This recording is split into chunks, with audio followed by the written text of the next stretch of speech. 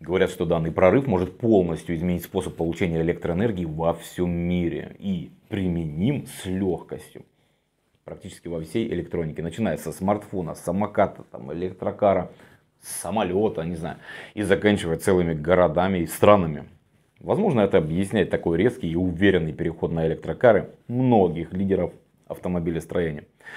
А данное изобретение, получается, даст возможность вообще не заряжать электромобили. Ну, да и другую технику. Прикиньте себе телефон или ноут, который больше не надо ставить на зарядку.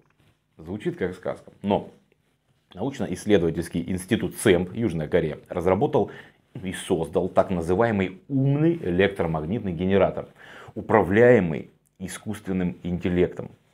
Наш генератор полностью автономен. В зависимости от мощности он может быть очень компактным, а главное это неограниченный срок службы, говорит У Хичхве. Как-то так. Это гендиректор компании СЭМ. Да и вообще, без преувеличения, данная разработка обеспечит толчок в эволюции от технологий, заявил Ухи.